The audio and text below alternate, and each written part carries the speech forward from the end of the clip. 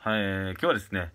えー、コンバーススケートボーディングが、えー、日本でもね、えー、8月に販売されるということで、まあ、僕はね、普段よく履いてるスニーカーをね、紹介しようと思います。で、前動画で撮った通り、えー、日本のコンバースと海外のコンバースは別の会社で、まあ、US のコンバースがまあナイキの傘下に入ってるような感じなんですよ。で、まあ僕が履いてるのは、え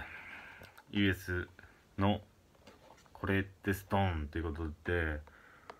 パッと見何の靴って思う人も多いと思うんですけど、まあワンスターなんですけど、ここにね、ヒールにスターが入ってるモデルになります。まあ日本がどのソールを使うかよくわかんないんですけど、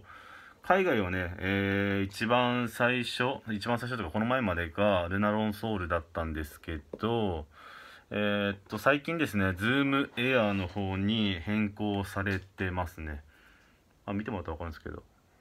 Zoom Air って書いてる人、ナイキ Zoom Air って書かれてて、変更されてて、まあ、どっちにしろまあ履きやすいのはいいんですけど、個人的には Lunarlon ソールの方が、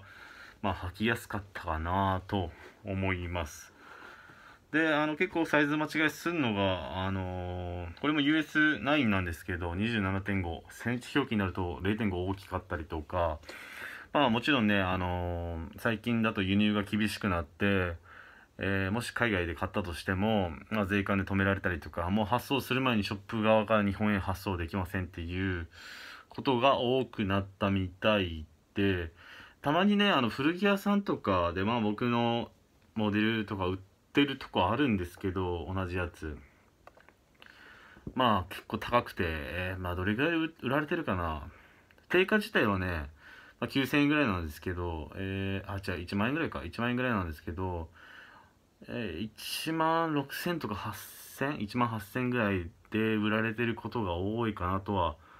思いますってことで、まあね、お近くの、えー、ショップでもし見かけて気になった方は、ぜひ買われてみてくださいということで、